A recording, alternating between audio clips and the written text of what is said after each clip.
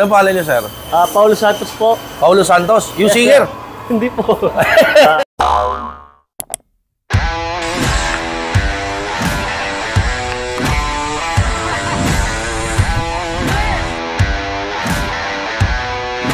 Are you ready?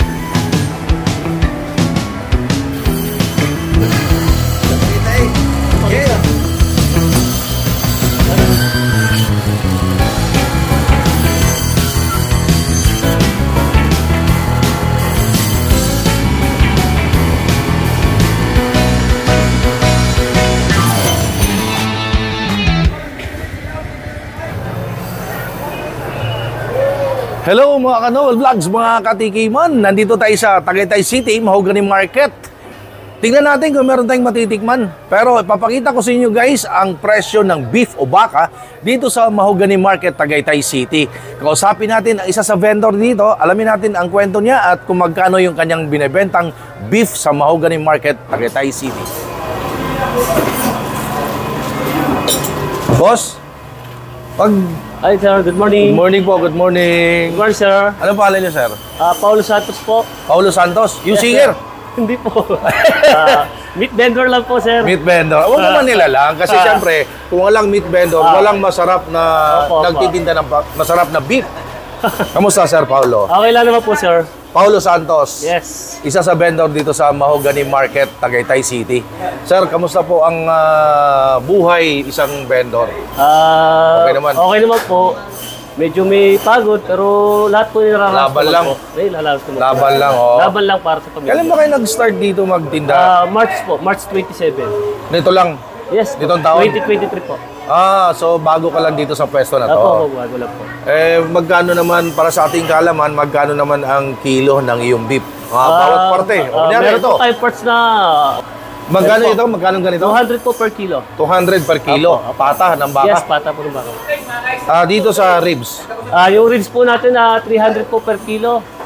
Tapos, itong... Ah, bulalo po, bulalo. Ito, may Bulalo. bulalo po tayo rito. Ito, Bulalo. yung mga bulalo. Yung Bulalo mga sa special mga- bulalo sa Tagaytay. Ah, 300 din po per kilo po. Magkano po? 300 per kilo po. 300 per kilo. Ayun. So, iba't ibang parte ng baka, Yes.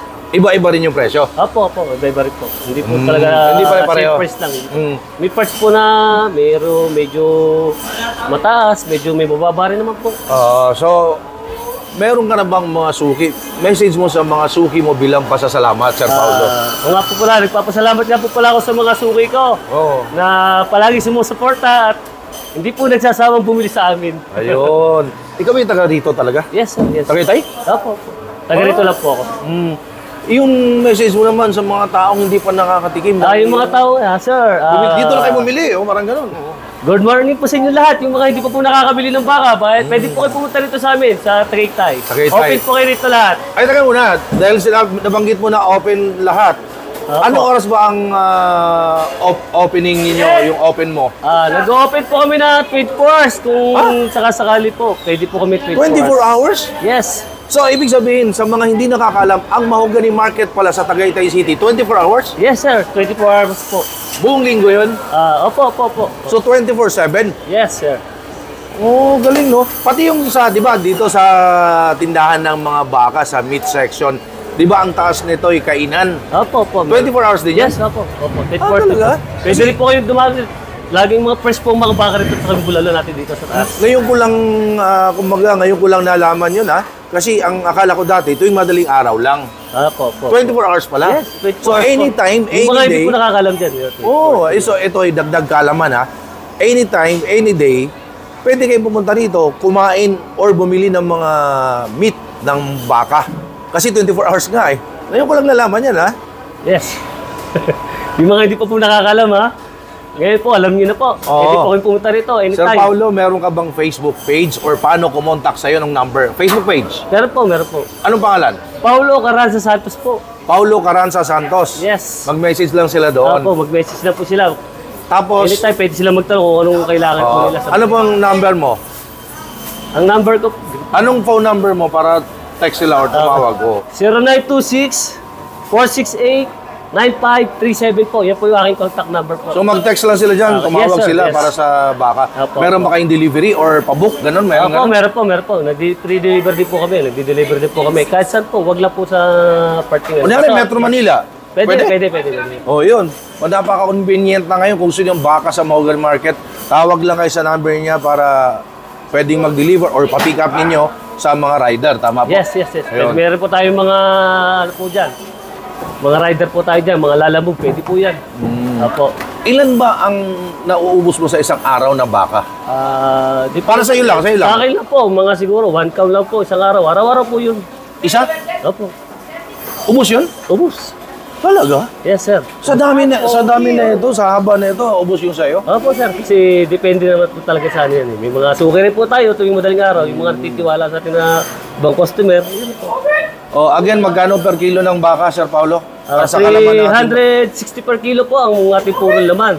Yung mga bulalo po natin, 300 lang po per kilo. At tapos, saka, syempre, manawagan ka na ulit na sa Opo. ating mga tagapanood na dito na bumili sa iyong pwesto. Ano Opo pangalan? po, na, ah, Steve Bistad lang po. Welcome po kayo dito sa Steve Bistad na bumili po ng ating fresh beef po at Tagaytay.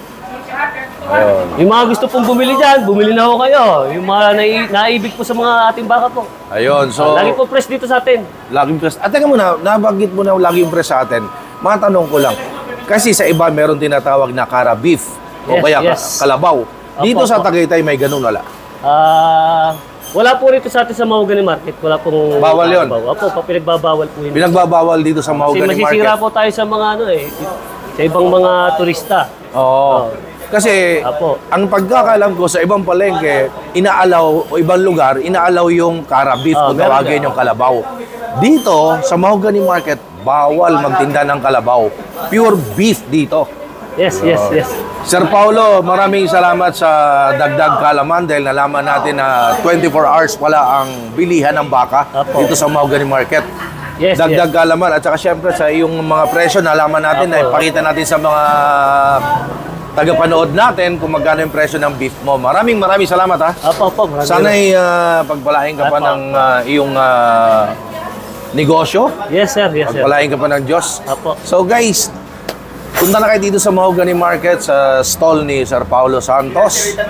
Maraming maraming salamat po sa panonood sa aking YouTube channel Noah Lowell Vlogs and please don't forget to subscribe, hit the bell button all para updated po kayo every time meron tayong bagong video. Thank you guys and stay safe everyone.